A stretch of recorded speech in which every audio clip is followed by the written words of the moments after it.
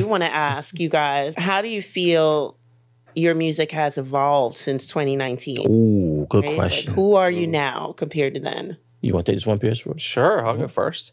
Um, I think I trust myself a lot more with just the overall process. So I feel more confident in in knowing that it will come, that the next line will come, the next chord will come, and just sitting and putting all distractions aside, ideally first thing in the morning with a cup of coffee, and just whatever the assignment is that day, whether I'm doing a beat or writing or like mixing for someone, it's just sitting there and just and just trusting. And sometimes, and I've been really ge- geeking out on uh, Rick Rubin's book. Like, he covers a lot of this. It's so good, the creative act, and it's just. Um, I don't I don't know what it is if you call it like the universe or you call it um, your muse or whatever. Just the words that are not your own just come in and that whoa that's the line like and don't question it. Just okay that's the line go. And I've been trying to